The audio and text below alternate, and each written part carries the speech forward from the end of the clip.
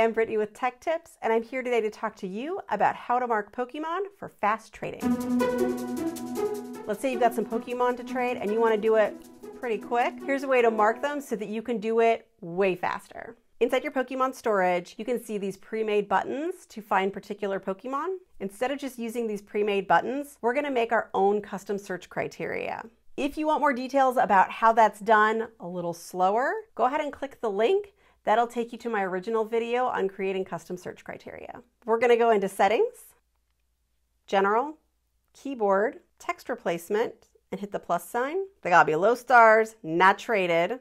But sometimes you wanna know, are you gonna get two candies for this trade? Are you gonna get three candies and a Candy XL or just one candy? So we're gonna put in a distance criteria. I'm gonna say distance, space, I'm going to put in 10 kilometers. Because this is probably the one I do the most, it gets the most simple QPO. Q, so it doesn't get in the way of anything else I might type, and PO for Pokemon. But also because then they're all at the top and it's easy to hit with my finger. Then save, and there it is, right at the top. Okay, let's try out our keyboard shortcut.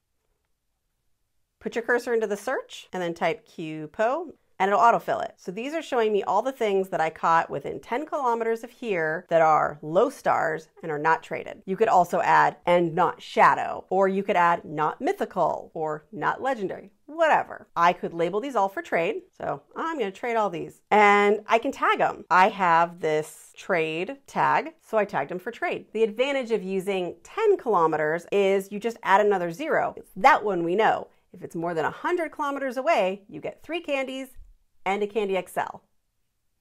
Additional bonuses accepted. Now it's going to be Pokemon within 100 kilometers, but if I hit a minus, all of a sudden it's Pokemon that are more than 100 kilometers away. That's going to make it way easier for me to mark things that I'm going to get nice distance trades for, either because I hatched them from a buddy egg or I was traveling somewhere.